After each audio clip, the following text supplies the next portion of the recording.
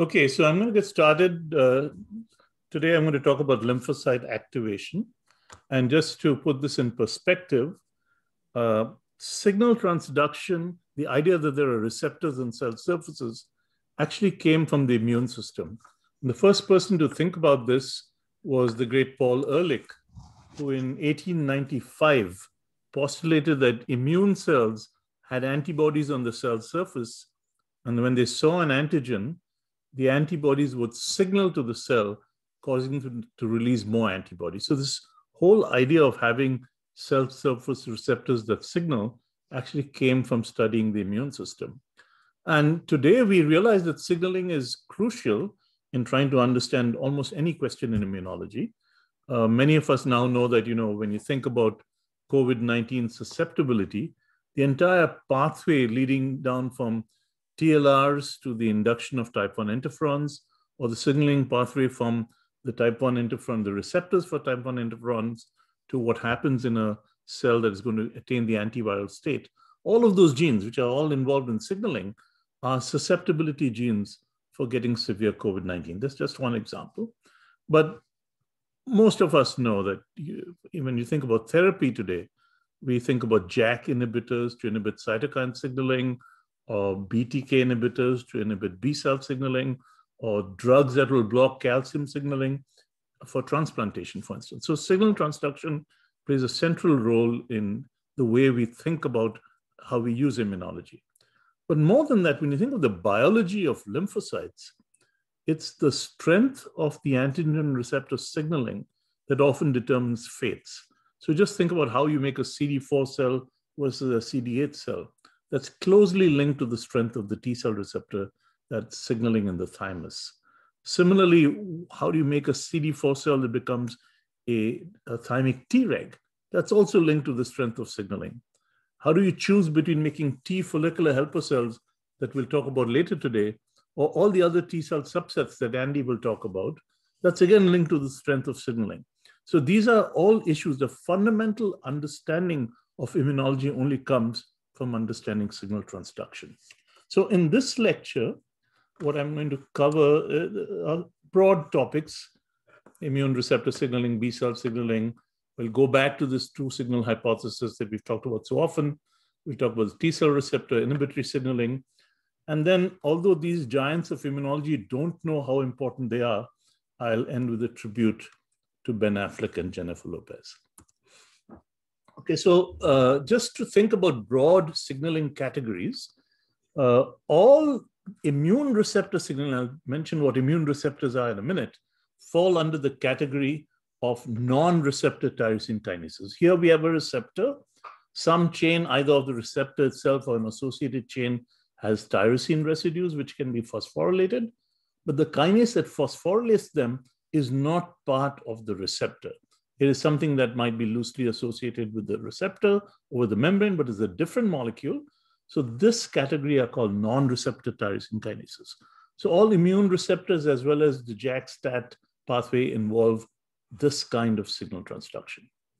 There are many receptor tyrosine kinases, and receptor tyrosine kinases are receptors which have kinase domains in the cytoplasmic tail. These are tyrosine kinase domains. They phosphorylate targets and induce signaling. We have also nuclear hormone receptors, which are proteins that reside in the cytosol. They bind to their ligands, which are usually lipophilic, will cross the membrane, bind to the nuclear hormone receptor, and will signal after this nuclear hormone receptor goes to the nucleus, functions as a transcription factor, and turns on gene expression or turns off gene expression. So if you think about insul the insulin receptor or the EGF receptor, it's a receptor tyrosine kinase. If you think about vitamin D3 or you think about steroids, these are all nuclear hormone receptors or thyroid hormones as well. Now, uh, then we have G protein coupled receptors. These are receptors that cross the membrane seven times, have these heterotrimeric G proteins associated with them. And so in the immune system, we think about chemokine receptors, they all fall into this category of GPCRs. And then we have, when we have the development of T cells, for instance, we have notch signaling. And so there's a ligand for Notch on one cell, which engages Notch, let's say on a developing T cell or a progenitor. Then this Notch protein, which is a transmembrane protein, gets cleaved. Its cytoplasmic tail then it gets released, where it functions as a, transcription factor by going to the nucleus. So this is a very signal, simple signaling pathway, just one protein providing the receptor and the transcription factor with no intermediate step other than a cleavage step. Okay. Now, immune receptors, this is a family of receptors, and all immune receptors will have some chain or chains that bind something, like the antigen receptor on B cells or T cells. Then they have associated chains, which will have tyrosine motifs in them called ITAMs. And this kind of structure is the fundamental basis of an immune receptor. And we'll talk about immune receptor signaling, which is very similar whether we think about the FC epsilon receptor type 1 or the B cell receptor. Ultimately, there is a very similar pathway downstream. Now, there are some receptors which contain tyrosine containing motifs which do not activate signaling. So these do not recruit further tyrosine kinases that we'll talk about for the ITAM or the activating motifs. ITIMs will recruit tyrosine phosphatases typically, or inositol phosphatases. And then there are some proteins which have tails which contain ITSM or switch motifs. And in the immune system, those switch motifs theoretically can be both activating as well as inhibitory. We tend to think of the importance of these in an inhibitory context, though there are certainly contexts in which they're activating motifs as well. So these are motifs which are more plastic. They can either be activating or inhibitory. And there are sequences for all of them which we can talk about. We will talk about ITAMs later. So how does the whole process work? The key is to have an adapter downstream of the receptor.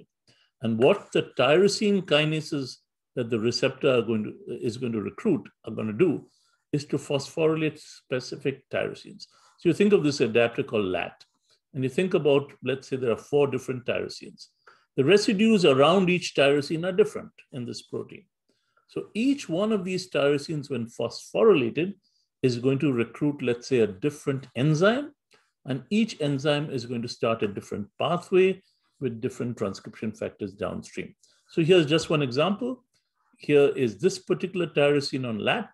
When it's phosphorylated after T cell receptor activation, the phosphorylated tyrosine now has the ability to recognize a domain in a, a molecule here, which is PLC gamma.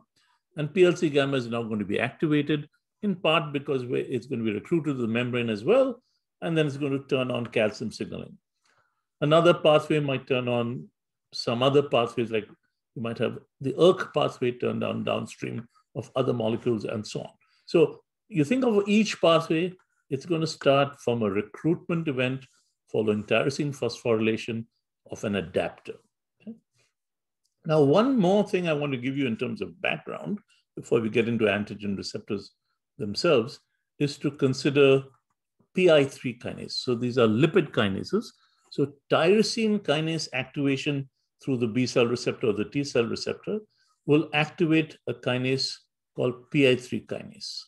PI3 kinase will phosphorylate a phospholipid in the membrane with a inositol moiety with a couple of phosphates on it and convert it from PIP2 to PIP3.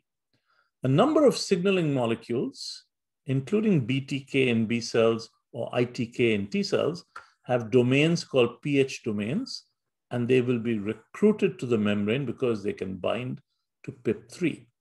Now, here is one classic example. I want to explain this just because it's so important when you have a cell proliferating, is that you have the recruitment to the membrane of both a kinase called PDK1, which gets activated, as well as its target, AKT, which is also recruited to the membrane, both by this PIP3 moiety. AK, AKT then gets phosphorylated by PDK1, it gets activated, and this will drive cell survival. So a lot of anti-apoptotic pathways will also drive cell growth through mTORC1. So the mTOR pathway allows the cell to grow and allows proliferation to occur. So this is a central event in any cell where tyrosine kinases activate many pathways They also activate a lipid kinase. I just wanted to give you this example. It's not all tyrosine phosphorylation dependent. There are events downstream. And this key event of activating lipid kinases, like PI3 kinase, allows the cell to proliferate. And this becomes a target for immunosuppression as well. Okay. Now just go, to, into the biology.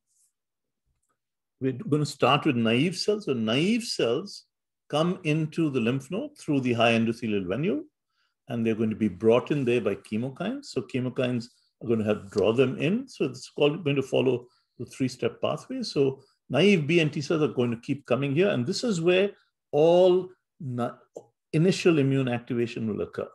We don't have antigen activating a naive cell in a tissue.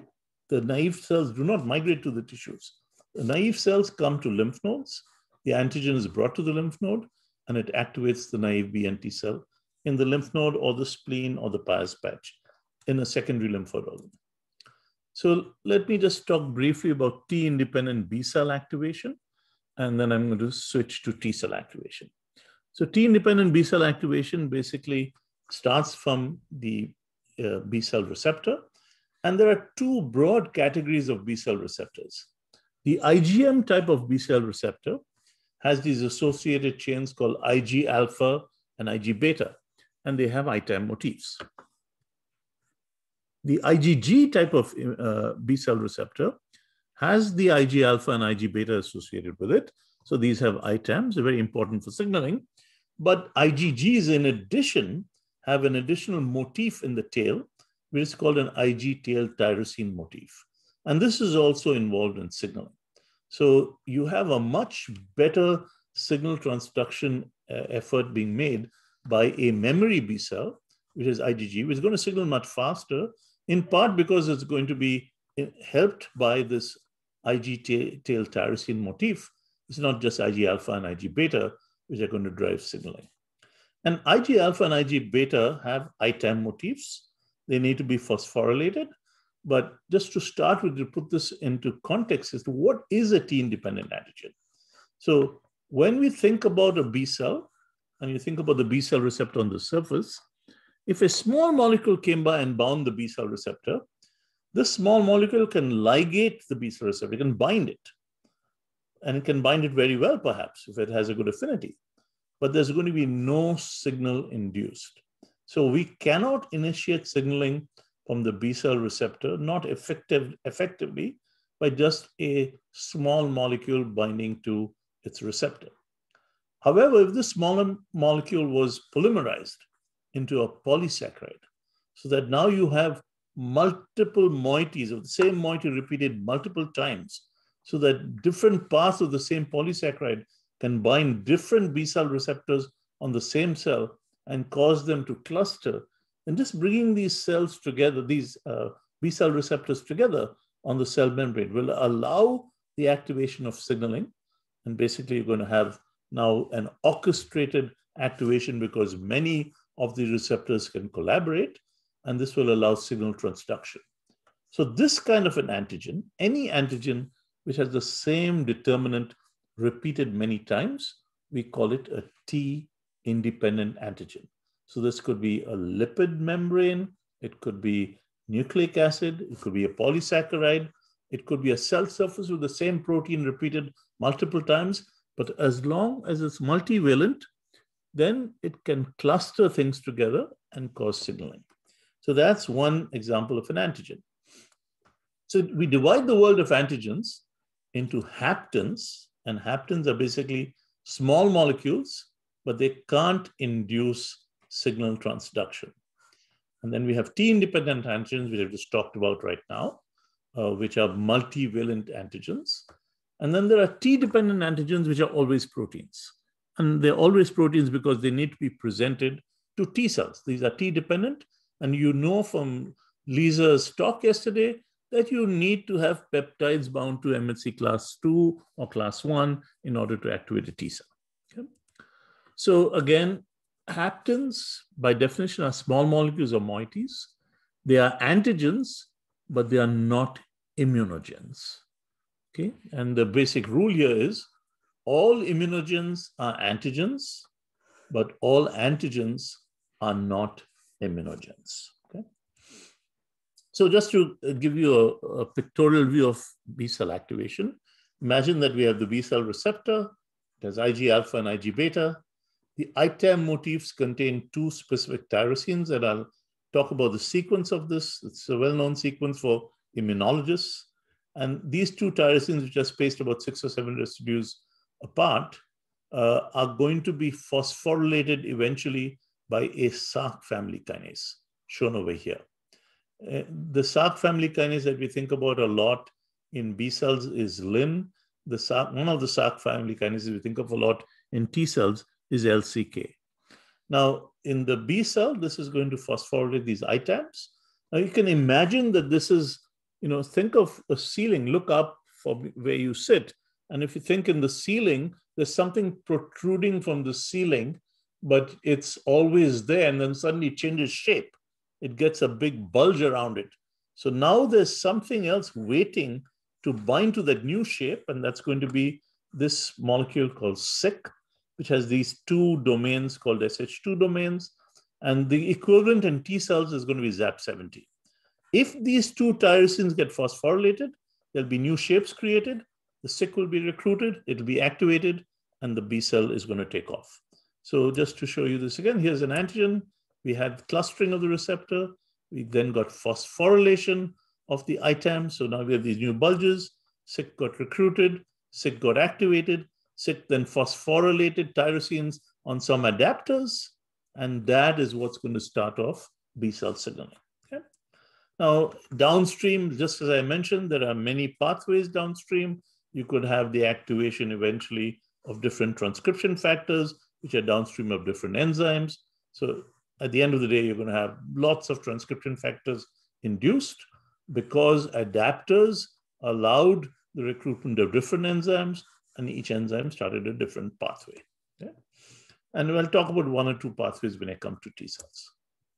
So there is a co-receptor for B cells, for the B cell receptor, which is the complement receptor type 2, which can, if you have an antigen that is coated with complement fragments, this is the C3d fragment, in that case, this co-receptor comes close to the B cell receptor, brings with it tyrosine kinases, which can help activate the B cell receptor even more efficiently. So it turns out that a complement coated antigen can give you a thousand times stronger antibody response than a non-complement coated antigen. And so this is one of the tricks that the B cell receptor is going to use. Some people will think of this as a second signal where innate immunity through complement is helping adaptive immunity through the B cell receptor to combine together to provide signaling to T cells. Another way in which you can get a second signal for, for B cells is through a toll-like receptor. So you could have a PAMP from a microbe activating a toll-like receptor. The antigen from the microbe activates the B cell receptor. Both of these things happening together, and they actually merge their signaling together. A lot of it is understood now in the molecular sense. And th these signaling pathways will merge and cause activation of the B cell. Okay. I'm going to stop now, take a few questions if there are questions, and possibly they're being answered. Okay. Um, Gary, you can look as well. Um, here's one that hasn't been answered. Uh, SYK phosphorylates or gets recruited to phosphorylated ITAMs. Uh, that's a question. Don't ITAMs autophosphorylate each other? That's a good question to clarify the. Uh, okay, ITAMs are not kinases. ITAMs are just two tyrosines. There's YXXL, then X, a few X's, few more amino acids, then another YXXL. They're just two a, a motif with two tyrosine residues in them.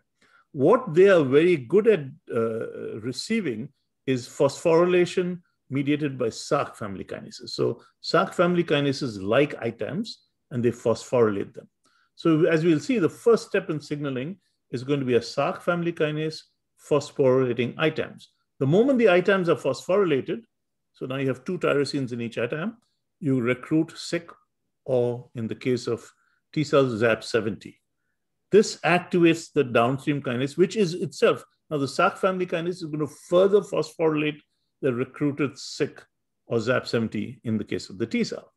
And that is going to cause that the SYK molecule or ZAP70 to be highly activated, phosphorylate tyrosines on different adapters, and then each of those phosphotyrosines might start another signaling pathway.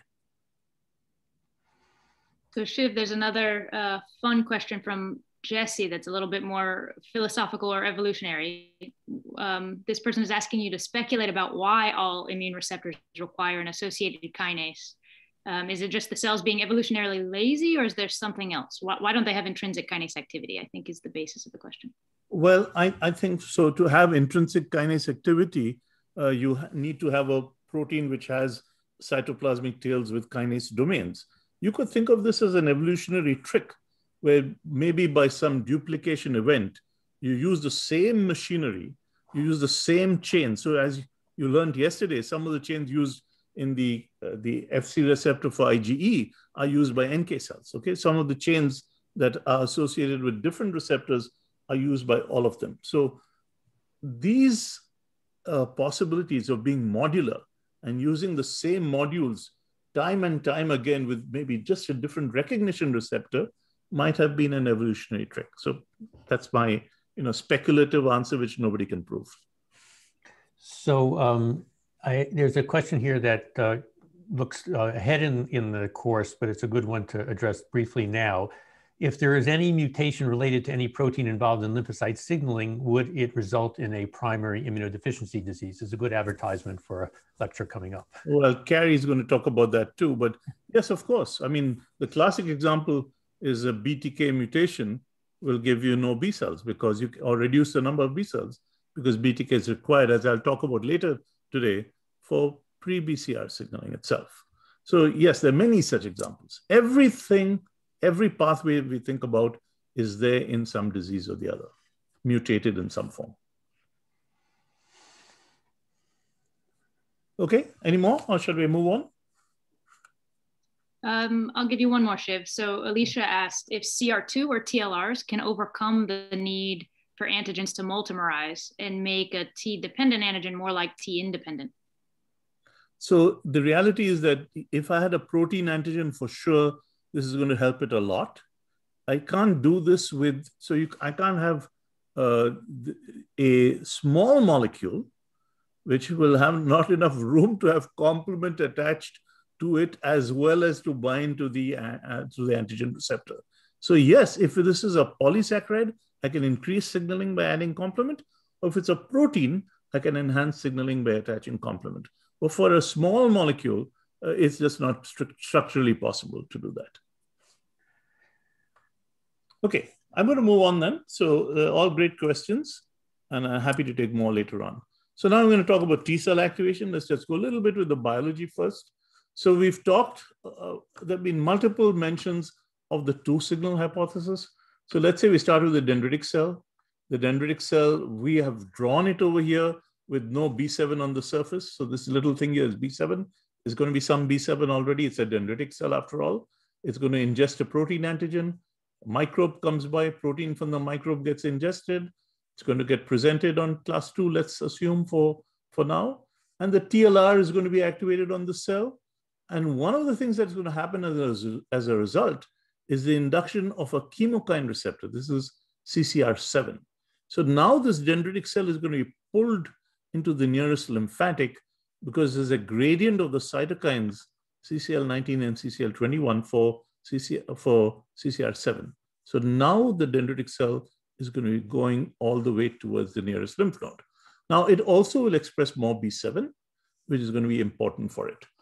It's going to enter the afferent lymphatic of the lymph node, and then it's going to make its way to the T cell zone because the gradient of CCL19 and CCL21 is coming from FRC, from stromal cells sitting in the T cell zone. So that this guy is going to come all the way, carrying its antigen, carrying its B7 uh, to the T cell zone. Here you're going to have a dendritic cell ligate a naive T cell, give it its two signals, through one signal is for foreignness through the T cell receptor.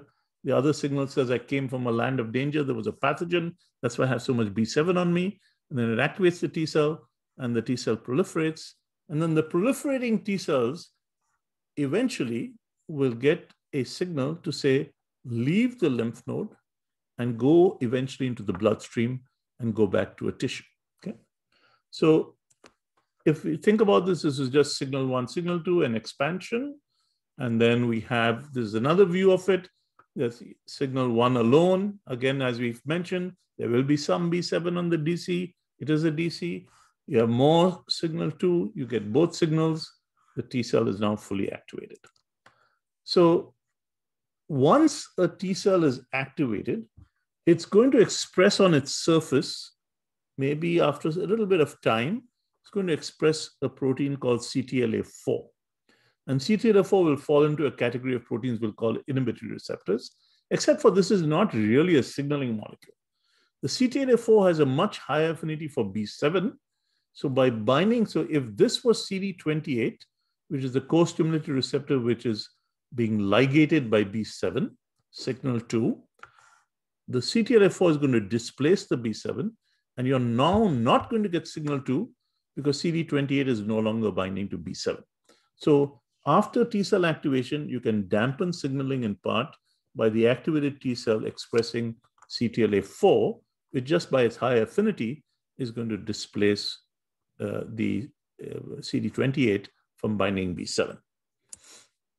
Now, regulatory T cells, which Mark talked about yesterday, have a lot of CTLA4 on the surface.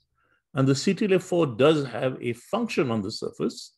And if you mutate CTLA4, you you know, you have a defect in Tregs.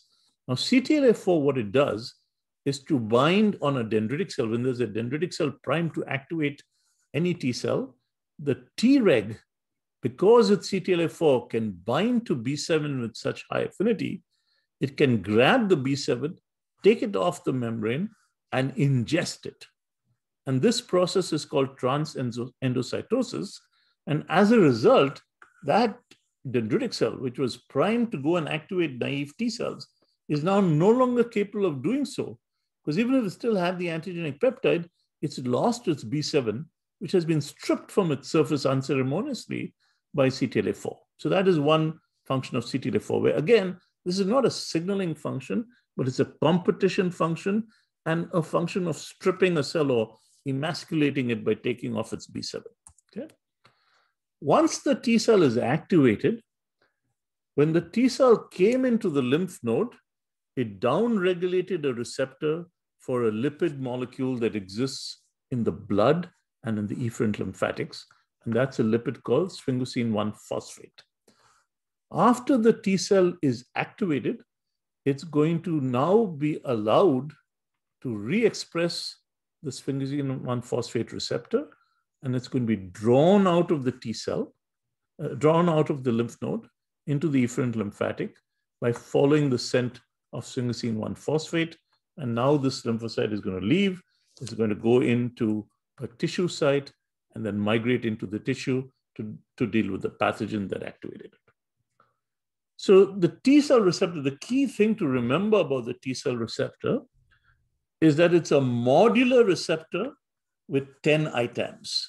And the 10 ITAMs gives it the capacity to signal through, let's say, maybe through eight ITAMs and have strong signaling, or through two ITAMs and have weaker signaling, or an intermediate number of ITAMs and have you know, intermediate signaling. And by this modularity of signaling, you can have different fates for the T cell. So this is just a picture of uh, an APC and a T cell you have the T cell receptor is made up of the alpha beta chain, which are recognition chains, the gamma and epsilon heterodimer, and the delta and epsilon heterodimer, which each have one ITAM. And then you have a zeta dimer, a homodimer, each with three ITAMs. So you ended up with 10 ITAMs. And this is just another structural view where the, there's some models of crystal structures showing you how CD4, if this was a helper T cell, the CD4 molecule is going to come and bind to the side of the MHC class 2 molecule on the APC. And this CD4 is therefore going to be able to bring on its tail a tyrosine kinase, a Src family tyrosine kinase called LCK, close to the T cell receptor. So we're going to have interaction of the T cell receptor with MHC and peptide, and then you're going to have CD4 coming in the plane of the membrane and saying, I can recognize something here and binding to the MHC class 2 molecule, thus bringing a tyrosine kinase close by and initiating signaling by phosphorylating these ITAMs. So here we have a clear example of the co-receptor, whether it's CD4 or CD8 in the CD in uh, in a killer T cell, what will eventually be a killer T cell.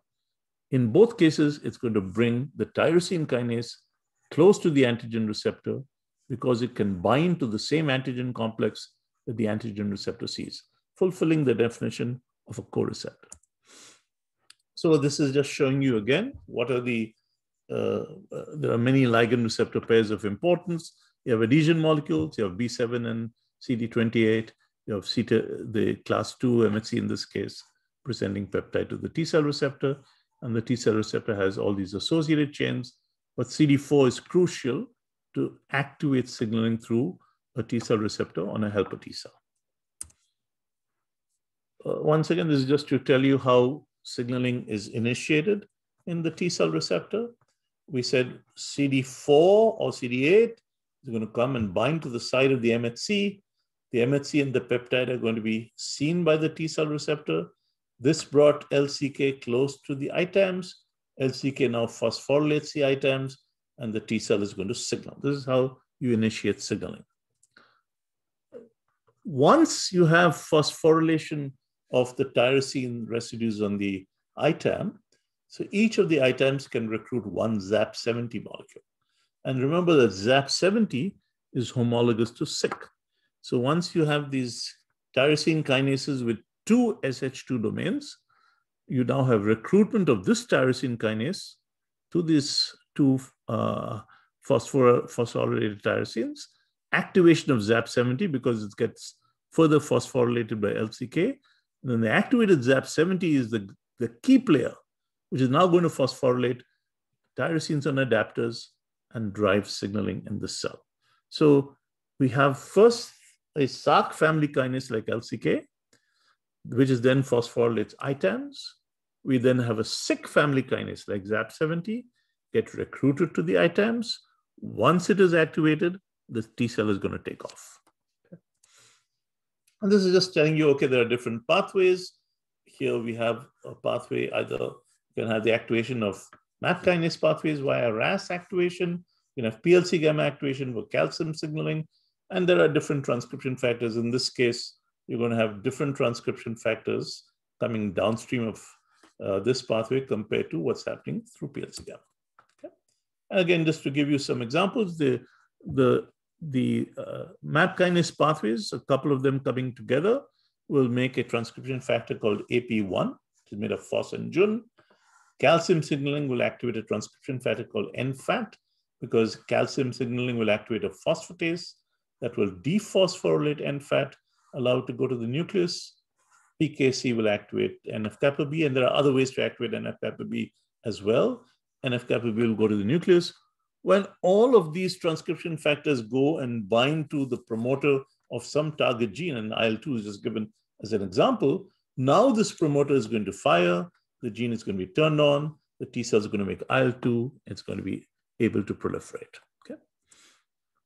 Okay, I'll stop and take a few questions if you have any right now. Then if you don't, I'll keep moving on. Well, the team has been really great at answering questions. Which is wonderful. That's all good. If everyone is clear, that's good. If you think there's anything that would be helpful for everyone to hear, I'll mention it. Otherwise, I'll keep going. there was one um, where Aslam asked, why are B cells and T cells in separate locations in the lymph nodes? What's the advantage? Yeah, so the, well, I'm going to talk about this in a later lecture, but essentially it's crucial to have this cellular apartheid separating T cells and B cells from each other so that only when antigen comes by and activates a specific B cell in a specific T cell, will they leave everyone else and go and meet each other, and then maybe the T cell will activate the B cell. And we were going to spend a whole lecture on this, but it, just to understand that if you want specificity, you want to ensure specificity in multiple ways. So you keep apart everything else so you don't have random activation of T cells by T cells of B cells, which would happen if you just had an activated T cell running amok among different B cells. Just by making sure you only allow the key players to meet each other is how you get much more specificity. Okay, there's a couple of questions that have come in while you were talking. Uh, one about Tregs, does that use the same mechanism to get activated and migrate through uh, local tissues? Um, I assume that same as effector T cells is what the question is. Yeah, so as uh, Mark mentioned yesterday, Tregs do have T cell receptors, and the T cell receptor is essential for Tregs. And we also know that antigen is essential for making Tregs in the thymus. But usually it's really hard to pinpoint what the antigen the Treg sees. So in, in reality, a lot of Tregs are being created in the gut.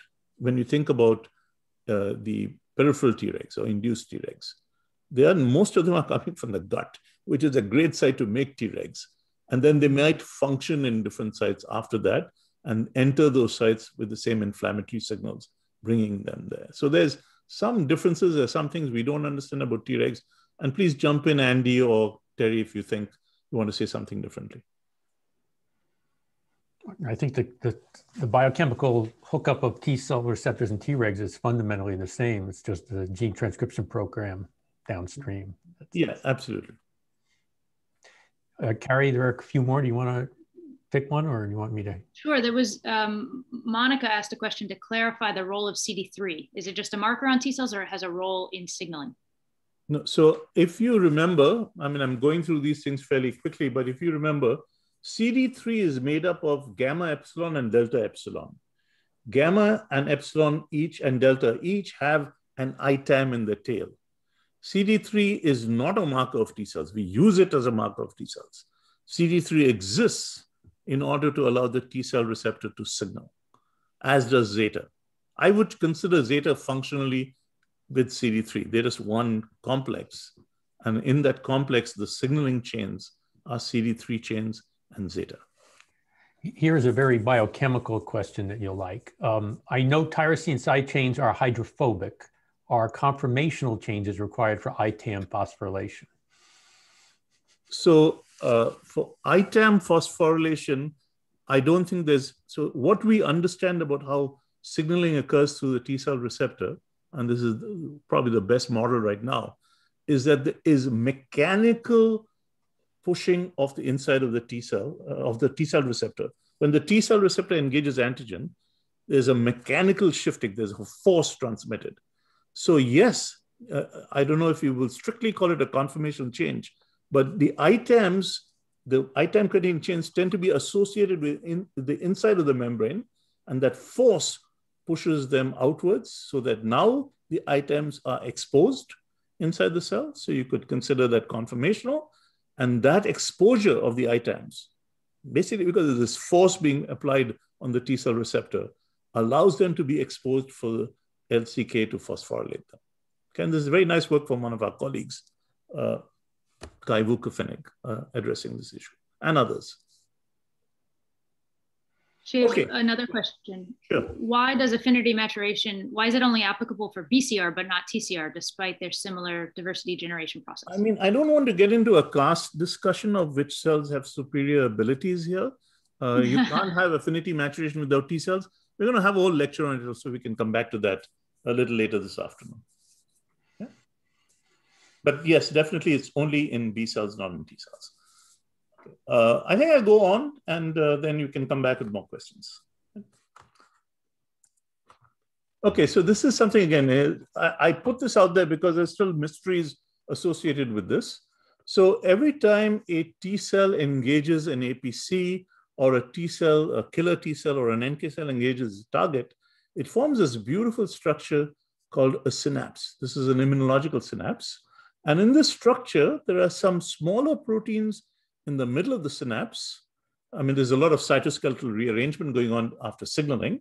And the larger proteins, the adhesion molecules and the, some of the tyrosine phosphatases, uh, the receptor tyrosine phosphatases, are in the outer ring. So you have an inner ring and an outer ring. So you have this beautiful structure forming and this tight adhesion, and these cells are going to stay associated with one another for a while to signal. Whether this is essential for signaling or is essential for stopping signaling is highly debated still. What it is essential for is specificity of target recognition. So when a T activated T cell sees a target, you want to a CD8 killer to give perforin and granzyme only to the target cell, not to random cells around it. So the immune specificity is mediated very strongly by the synapse. How exactly the synapse is modulating the activation or the deactivation of a T cell is, as I said, still somewhat debated and with very different views. Okay, let's a picture of the synapse where you have these longer, bigger molecules on the outside and the smaller molecules in the middle, including the T cell receptor. There's a redistribution. So you have lipid rafts that coalesce to form a synapse. And this is one of the beautiful structures that happens during immune activation. It certainly gives us a lot of immune specificity. And then in the last bit, I'm going to talk a little bit about inhibitory signals and inhibitory signaling. So we have in general, so the ITAMs were YXXL, X6 or 7, YXXL, where Y is a tyrosine and L is a leucine, or you could have an isoleucine. If you have a couple more residues in front of it, and these are, you know, uh, I don't need to recite it for you, but essentially you have one amino acid, then a, a non-amino acid is typically hydrophobic, then you have a little uh, in a spacer amino acid, and then what looks like half an ITAM is now an ITIM. And a phosphorylated ITIM will recruit an SH2 domain in a molecule which is going to be inhibitory. So in, in case of tyrosine phosphatases, contain SH2 domains which get recognized by phosphorylation of ITIMs. So the yin and yang here is phosphorylation of the ITAMs recruits a strong tyrosine kinase like ZAP70 or SYK and activates the T cell. Tyrosine phosphorylation of an ITIM then recruits a strong tyrosine phosphatase, which gets recruited and then binds to this guy, gets activated, and then it's going to dephosphorylate a lot of the targets of the tyrosine kinase. And this is how you're going to dampen signaling. What goes up must come down. You know, everything has to have a yin and yang. You have to have coming back to homeostasis. And this is one such mechanism, which is very important. Now, you heard yesterday about KIRs uh, from Lewis in NK cells, which the inhibitory KIRs all have ITIMs uh, uh, to dampen signaling.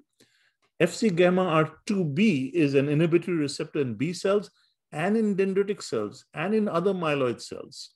And it's very important when you think about IVIG treatment, eventually you want to activate Fc gamma R2b, and it can dampen signaling in all these cells. It uses an ITIM. PD1 in T cells has switch motifs and ITIMs, and I'll mention the switch motif again, and dampen signaling uh, through use of the switch motif to recruit a tyrosine phosphatase. So this is just saying in B cells, you have this, pro, this receptor called Fc gamma R2b. If I have had a big immune response, I made an immune complex, the antigen in the immune complex binds to the B cell receptor, it's a positive signaler. The IgG binds to the Fc gamma R2b receptor. This one contains an ITIM. In this case, Fc gamma R2b does not recruit a tyrosine phosphatase. It recruits an inositol phosphatase called SHIP. And if you remember, we talked about PIP2 and PIP3. What SHIP will do is to convert PIP3 to PIP2 and dampen signaling. So in the B cell, I mean, you could have had a tyrosine phosphatase as you have for some other inhibitory receptors. But in this case, it's a SH2 domain containing inositol phosphatase, which is going to dampen signaling. Okay. And here is PD1. I just want to remind you, these are all inhibitory receptors. PD1 has both ITIM and ITSM. This has been debated for a long time. I think there are now beautiful in vivo studies showing the ITSM or the, the switch motif is actually the key to recruiting SHP2, the tyrosine phosphatase.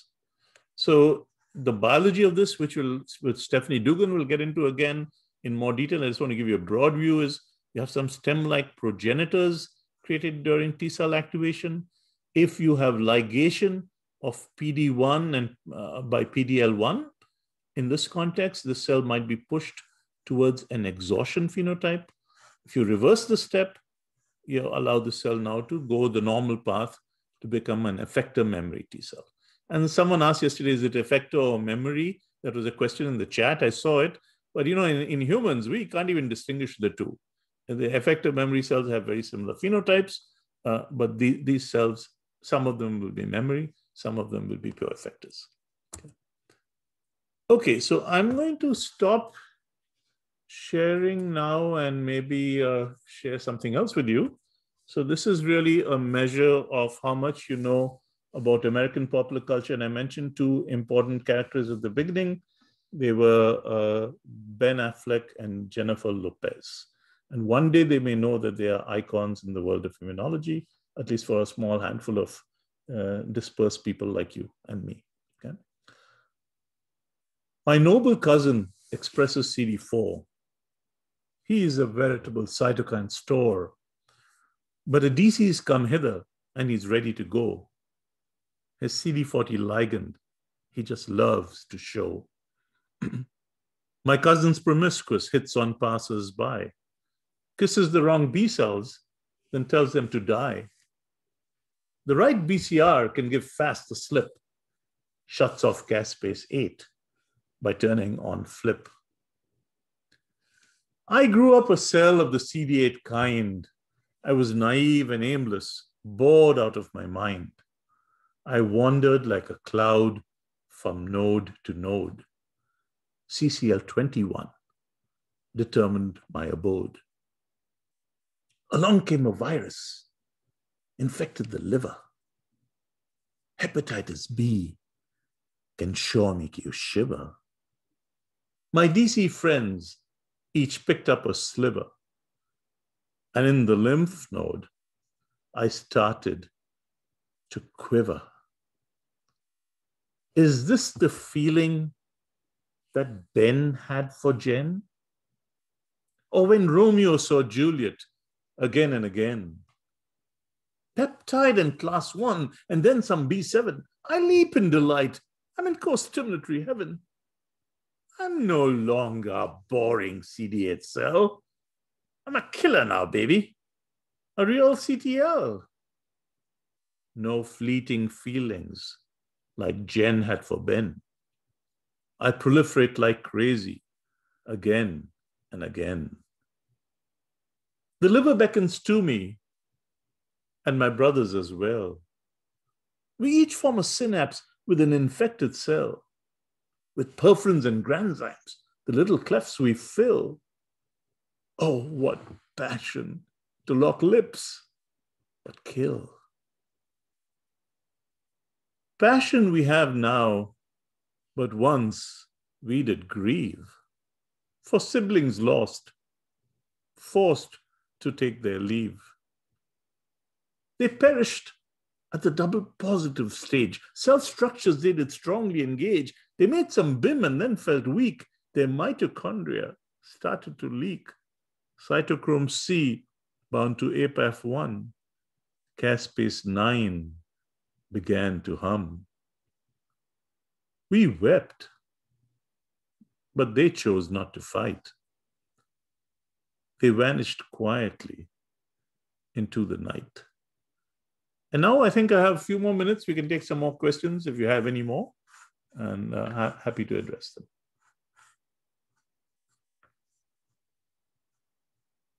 them. Um, there are a few that haven't been answered, although again, the team has been great. Um, so one, I'm not sure anybody answered this. Amir wanted to know about how long the immune synapse has to uh, stay in place in order to confer strong activation of T cells. In other words, what's okay. the There's actually an interesting paper that was published many years ago by uh, Thorsten Mempel and Uli von Andrian, where they looked at different stages of T cell activation, where they actually followed sets of T cells and dendritic cells bound to each other. And they found that the strongest activation came when these cells stayed bound to each other for about 12 hours. So you do have, uh, you know, the case for saying the cells need to stay together for a long time. and that uh, maybe the synapse helps them stay together. So there is that kind of evidence. Uh, beyond that, you know, we don't have anything else to say. We we don't know whether the synapse stayed intact. How did they stay together? Was it by the synapse? We know that the cells stuck together and hung around for a long time in vivo.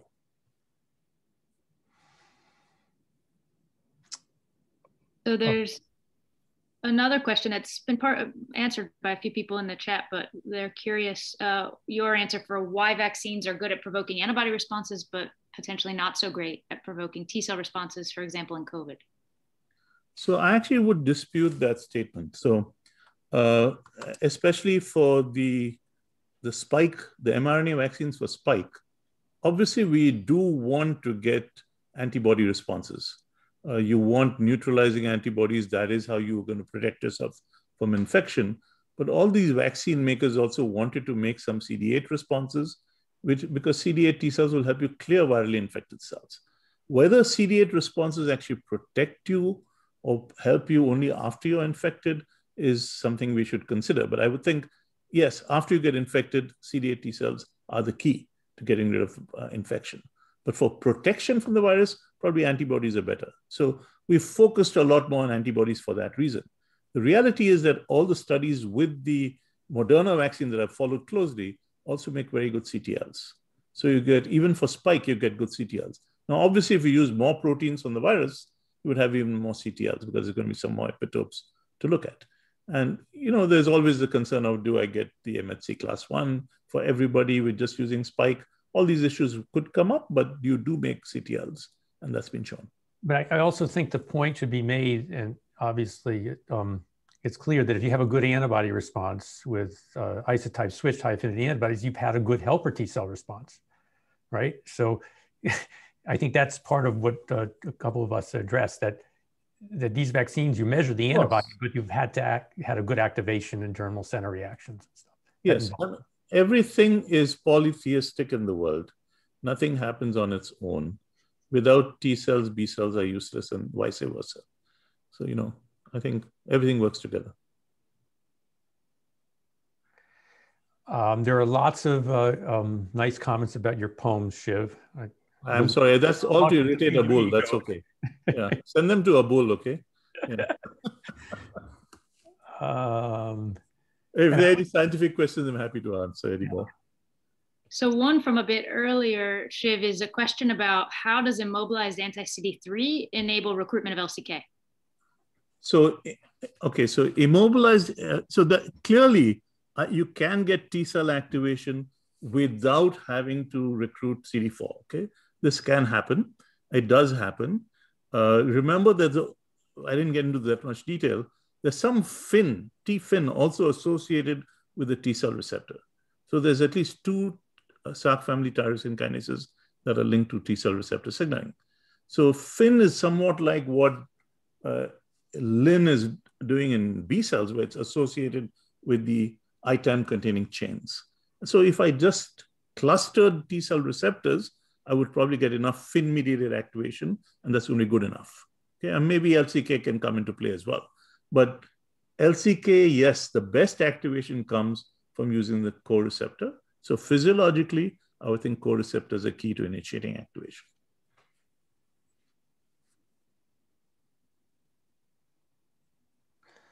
Uh, Carrie, Carrie, do you see any more? Um, no, you guys have done a wonderful job.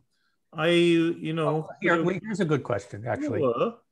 Um, it's a good one because I know there's a lot of confusion in the way people talk about it. In what category does CD40 fall? Is it a, well, actually, the question there is, is it a TNF receptor? I was going to expand on that question. Is CD4040 ligand co-stimulation or not? Which yeah, that's a so I don't like to call it co-stimulation, but it is helping eventually provide the second signal to the B cell in a T-dependent immune response. If you want to consider it in that broad teleological sense, that a B cell is requires. In fact, without CD40, a T-dependent B cell response will not occur. Okay, so a T-dependent B cell response absolutely needs CD40, where you might even say most of the signaling is coming from there and not from the B cell receptor. Okay, so there's some differences, and we will talk about this again uh, later today in about a couple of hours' time. but uh, definitely uh, I would not like to call it a co-stimulator. I like to strict to strict definitions where co-receptor is always something that binds to the same antigen that the antigen receptor sees. A co-stimulator is providing the second signal, but then CD40 you could vaguely say it is the co-stimulator for T-dependent B cell activation, uh, which is you know a multi-step process. It's not happening simultaneously with the B cell receptor. And just very quickly, because this was in the question, CD40 is in the family of TNF receptors and the ligand, CD40 ligand in the family of TNF molecules. That's just protein homologies and similar signaling, but it's not TNF or, or TNF receptor, it's different. Oh yes, I mean the TNF receptor family is vast and it includes things like FAS, which can cause cell death, TNF receptor type 1, which in some contexts will cause cell death, TNF receptor type 2, which might help a T cell, you know, so many different functions, CD40, BAFF, which keeps a B cell alive, the BAFF receptor. So all of these are in the same family. It's just a family that's structurally related with very different functions. Shiv, there was a question about anergic phenotypes and whether anergic cells could be reactivated. Yeah, so the so in in the B lineage, anergy is best defined in certain transgenic mouse models. And once you make those models into knock-in models, that anergy phenotype actually disappeared. So the anergy phenotype that we know about comes from the Hen-Egg lysozyme uh, transgenic mouse model, where exposure to the antigen repeatedly, so you have a mouse which has every B cell has got the receptor for Hen-Egg lysozyme, the same mouse is making Hen-Egg lysozyme through a cross, and then you have constant activation of the B cell receptor repeatedly. And in the at case, the B cells become unhappy, and we call that phenomenon anergy. Okay, this is a fairly artificial phenomenon. It may occur in reality. In real life, we don't know that it does. However, if you use a knock-in model and you use the same BCR which was knocked in, so it was in the exact locus for the immunoglobulin genes, so that now you cannot what you can do now is that every time you get the signal, and I'll talk about this in the, in the next lecture, you're going to have receptor editing. You're going to change the light chain of the B cell. In that context, you don't get anergy. So I think the physiological thing is, I'm not sure anergy is real physiologically for B cells. And the, the model in which it was shown, if I was thinking of it in a normal human, it would not cause anergy, it would cause receptor editing. Okay. We are doing good for time, and you take note of that, all right? That uh... can, I, can I start five minutes early? you can start. There'll be no one there. Shiv, I do see one more that might be worth addressing. There's a question about um, physical proximity to the synapse when thinking about co-receptors and co-stimulatory receptors. H- how do they get to the right place? So uh, the way you should think about it is that both the co-receptor and the co-stimulatory receptor are going to be in the middle of the synapse. Okay. And how things get into the right place is, is somewhat based on size distribution here and reorganization of the membrane. So there is this need for cytoskeletal rearrangement, and there's some signaling involved in this. And then you're redistributing the larger proteins to the outside so that the length of those protein is well understood. So the outside of the synapse is further apart for the two cells. The inside of the synapse is closer for the two cells. And since the T cell receptor is in the middle, all of the signaling is happening there, but the inhibitory phosphatase, CD45, has gone to the outside of the synapse. Okay, so that's the way I would think about it. So yes, both signal one, signal two are coming from the middle. So this is related to that question, and I don't know how much, uh, I can't remember whether Mark covered this, but CD28, the question is about its signaling. What happens intracellularly with CD28? Uh, I think what So, so I think a simple way to think about CD28 is that it is not that unique compared to the T cell receptor. Uh, it might be slightly better in a couple of things like PI3 kinase activation, but even the T cell receptor on its own can give you some PI3 kinase activation. So it's somewhat more of a magnitude effect that might come about from using both these receptors. And it's not, it would have been beautiful at one time. There were many people suggesting this, if there was some unique synergies coming together. It's not, so far, nothing that unique allows you to discriminate between the two. Uh, clearly, there's some pathways that only come through the T cell receptor uh, or much more strongly. For instance, you know, I, I think of the activation of the, even ERK being much more strong through the, the T cell receptor. And I think of maybe PI3 kinase being stronger through CD28, but nothing's unique. Well, it's 1230 and Okay, very good. We take a break now and we'll be back in 15 minutes.